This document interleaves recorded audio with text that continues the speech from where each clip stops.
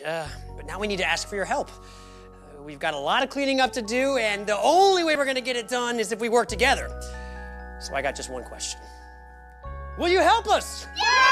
Everybody, free pie!